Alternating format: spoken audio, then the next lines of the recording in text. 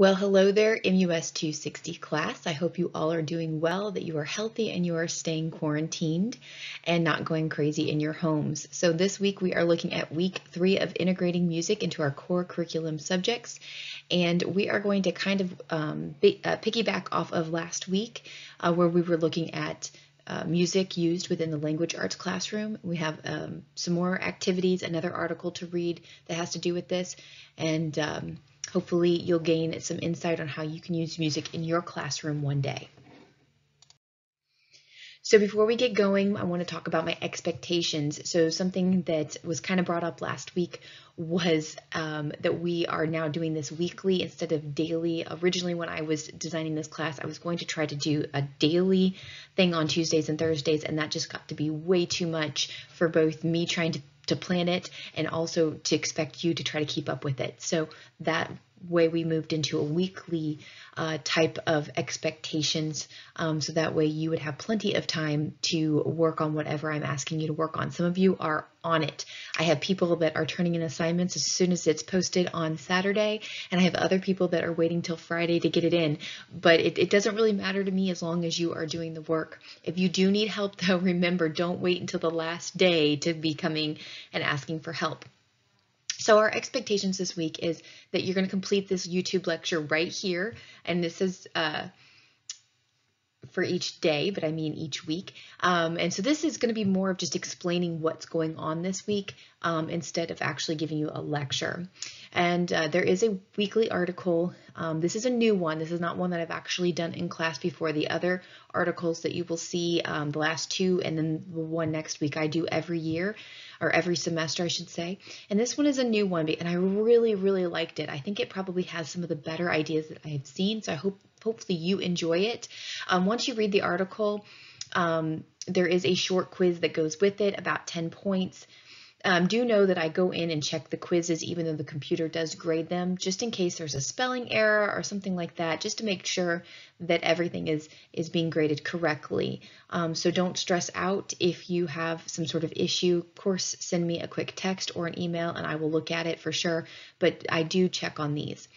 And then our activity this week is going to be a children's book activity. Now this is going to be more than just 20 points. We're looking at a 50 point assignment here, so I really highly expect you to take this seriously. This children's book activity is one that I do every semester in class. So we're just going to be setting it up on an online version. I will be a little bit more uh, forgiving for some um, having to do it from home, possibly even by yourself without any help. So I do understand there are limitations, um, and I'll talk more about the details in the children's book activity on the next slide. And then I don't want you to not pick up your recorder this whole time. I want to make sure that you're playing a recorder. You should be playing it on a daily basis and going through our YouTube video links. I'm giving you four new lines each week to, to work on and learn, and then the next week you'll be quizzed on one of those lines. So do make sure that you are practicing those four lines so that you're ready to go the next week. Um, and again, some of you are going to get this a lot quicker than others. Also, make sure you, everybody that ordered a book through me got a CD with their book. Out of all semesters for this to happen the first time, this was the perfect semester. So besides just going through the lines with me on the YouTube link, you can pull out your CD and listen to it and play along with it. It's a great help. And of course, stop both the YouTube video and stop the, uh, the the CD and just practice if you need to practice, okay? Um, but uh, the recorder quizzes are going to be due every Friday night at midnight. Okay, so we will have a rec recorder quiz every week until we end the semester. And I know when I first started out, there was only four, but this is a way to make sure that you're actually doing what you're supposed to do um, while you're at home. And so, of course, like you've been doing, you're going to record yourself and upload it onto YouTube. I do ask that you keep all of our videos that you put on YouTube, um, keep it up until the end of the semester. You may even want to keep it until uh, over over summer. You can leave it as unlisted, but if anyone were to come in from um, the university and ask to see what I have done, I would want to be able to show them here's what I've done, here's how they've submitted their assignments. So that way there's no questions or problems. It's probably not going to happen, but just in case, keep those up there. And then at the end of the semester, or better yet, at the beginning of next semester, once all the grades have gone through, you're, you're free to do what you want with those videos, whether it's delete them, um, turn them to private, um, whatever, or if you really love them and you want to make them completely public, um, some of you, I think you should because we have had some amazing ideas that I have seen and I've absolutely loved. So you may want to make them public so that you can use them in the future. All right, so let's talk about our children's book activity that we're going to be doing. So like I said, I do this every semester. It's actually one of my favorite activities, so I'm extremely bummed that we are not going to get to do this face to face. Um, I think I enjoy it as much as you would enjoy it with everybody else participating. So normally what I have you do is I'll let you um, either do it by yourself or you can pick a partner to do this with. Unfortunately, being in the situation that we're in, everyone is going to have to do this on their own. so I'm bummed about that, but we may have some really amazing ideas. So basically the idea around this is that students are going to be more engaged in reading and not just reading but comprehending what they're hearing and what they're they're uh, reading by participating with the book when they're actively listening and so that is what we are going to do we're going to set up a children's book um, where we're going to use music to help the students actively listen to the story. Now, you could do this in other ways. I have been to um, library programs with my own children where they'll like, they may have a book on fruit, and so they hand out these pieces of fruit, like felt board, you know what a felt board is, hopefully, um, or maybe magnets on the back for a magnetic board. And then they have to listen for when their fruit gets called out of the book, and they have to go up and put their fruit up on the board. And so that's one way to actively listen. Um, so they're more engaged when they have a role to play. And so what we're going to do instead of that type of thing, we're going to use music. Now I will tell you right now, I have three examples listed on the actual assignment or in um, on, on the page there. Uh, actually, I may even have four at the end of this because I found another one and I haven't put it in yet, but I'll put it in before this gets put up for you. Um, requirements for this. So you're going to pick a book that is age appropriate. Um, now, originally we actually go on, I, always say we go on a field trip. Um, we leave the classroom and we would go to the library at NKU and go to the children's section. However, that's not a possibility right now. So um, you're going to have to find a book, whether it's from your own home or whether it's from online. Um, I want to give a big shout out to those students that um, just were problem solvers in week one when we were doing the soundtrack to a book. Um, some of you did not have any children's books handy and you guys got on and figured it out, found some digital books to take care of that assignment. Um, so I'm very, very proud of those those of you that just made it work and you didn't actually have to email me or tell me you couldn't figure it out. You just did it. That is what a good teacher does, is that you figure it out, you make it work, you put it together. So I'm very, very um, proud of those students that did that. Um, so you can, you know, go to, if you're at home, maybe you've got a younger sibling, um, or if you just need to find a digital book, that is completely fine too. And uh, you can even set it up if you want to take where you take pictures of the pages or if it's a digital book that that's what we see and you just do a voiceover on your video, that would be completely fine too. I don't necessarily have to see your face for this. Um, then what you're going to do is you're going to find some way to incorporate music throughout the book by choosing at least one element of music to focus on. So this could be melody, it could be harmony, rhythm, timbre, dynamics, form. Um, I'm going to tell you the, the three examples that you're going to see from me are going to be melody, um, where they're actually singing the book. And in fact, the, another one is going, I actually have two for melody. Another one is going to be rapping the book. So that's a lot of fun. You'll also see another example for me where we use timbre. And um, so that video there, I'm going to preference that I'm about eight months pregnant with doing that video. So I had to sit up on a chair and uh, uh, teach these preschoolers, and um, as you'll see, I had to get on the floor with one student because she wouldn't participate. But it's a it, it makes a the humor in the the video there. And then the last example I have for you is a rhythm example, and this is one that I've had to use my family to um, to do since I normally do that one live in class as an example for you.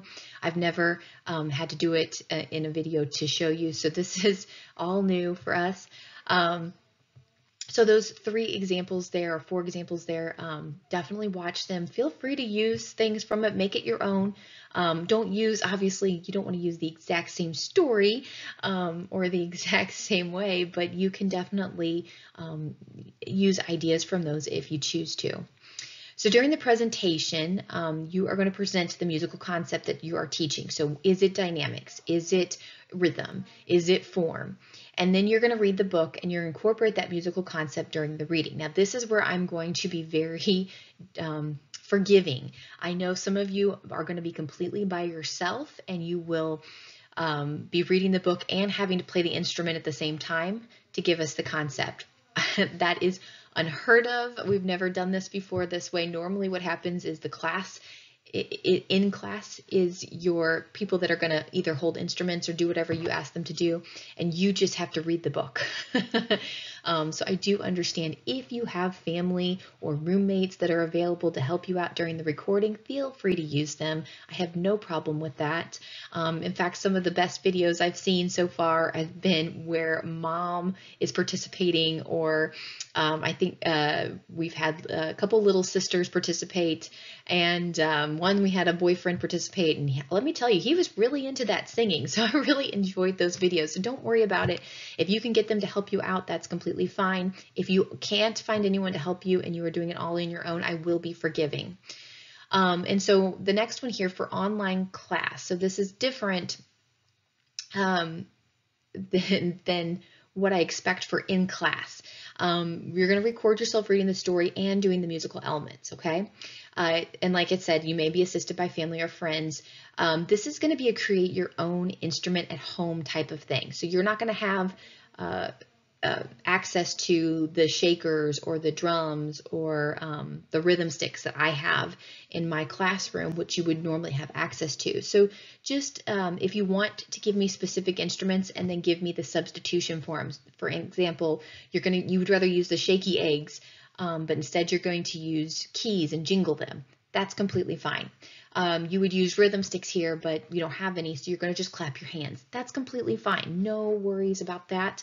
Um, I'm not going to count off, obviously. We are going to do our best.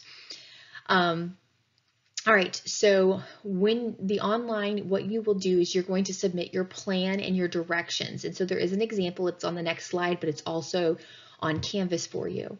Um, and this is on your book. Uh, you're going to put it on the discussion board. And at the bottom of that discussion board, you're also going to include uh, the uh, link to you reading the book. Okay, and so um, what I want you to do, now normally we would be in class and we would all just perform these for each other. And uh, but since we can't do that, we're putting it on a discussion board so other people can see this and participate. So I'm going to expect you to view at least five of the other videos and leave a comment. And I, I, I love the fact that you're very positive with each other, but go ahead and give them a critique as well. I mean, nobody is perfect. Find something that maybe they could work on a little bit more. Um, but uh, give them a positive comment and a, a, critique there so I know that you've actually listened and participated with the book. Um, feel free. I know you may feel silly, but when you're sitting in the class or you're sitting there watching the videos, participate if you can, especially if it's like a rhythm one or a singing one. Nobody's watching you. Just go ahead and do it. Um, if it's a if it's a noisemaker one, that may be harder to do, but you maybe you could you could um, uh, figure that out.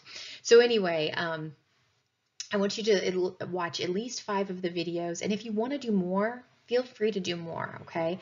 Um, the idea is so that way you have lots of ideas to, to get uh, to take into your own classroom one day. So you may have had an idea to do one thing and then your classmates, by watching five of them, you go, oh, that's a great idea. I'll have to use that in my class one day. Oh, that's another great idea. Or hopefully this is not the case. Oh, that was not good. I don't want to use that. hopefully that's not the case. All right, so here is my example for you. So this, uh, these are the directions. Again, this is already on Canvas, so you can look at this as on Canvas as well. But you would put your name as the presenter, the book that you're reading and who the author is, um, what grade it is focused on. So mine is going to be first through third. And then the directions, what exactly we are supposed to do prior to reading the book. So you're going to teach the rhythm on the board, um, and then go, and then I went through how I would teach it. So the first time through, I'm going to do it by syllables. Second time through, I'm going to add rhythm sticks. Third time through, I'm going to add the saying, don't let the pigeon stay up late. When you watch my third video on rhythm, this is the actual activity that we are doing. So to kind of give you more idea. And then the last, exactly, you're going to read your story and then how people are going to interact with the book as they're listening. The last thing I want you to look at um, for this week is you're going to read article number three. Like I said, this is a new article for me, um, so I had to create a, a quiz from scratch here. Um, so hopefully it doesn't have any issues in it like quiz two had. Um, but uh, quiz one and two I did have to create from scratch because we've always done those in class. Luckily, the um, the next week, I, I already had those quizzes made up from um, a previous semester where I had to be out for a couple of days. So that was kind of nice having that ready to go. And so I hopefully have worked out all the problems on those quizzes. But um, this quiz, hopefully we don't have any issues with it. But you're going to read the article. And I really, really like this article. Um, I didn't want to give you too much work. I almost decided to assign one of these um, activities for you to kind of um, create a plan yourself for something you might use in your classroom. Um, but I decided that the children's book project was going to be pretty big for this week. I didn't want to give you too much to do. Um, but I really recommend take read this article. You may even want to print it out, stick it in a binder somewhere with with great ideas to use in the future because I really liked all the ideas that came out of this article. So definitely check that out.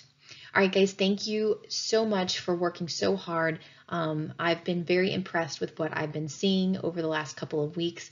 I'm very proud of everything that you guys are doing, and I really, really, really do miss you all. Um, uh, I'm, I'm really looking forward to some of the videos each week because I do get to see you and interact with you. I'm still waiting on Titanic, Zoe.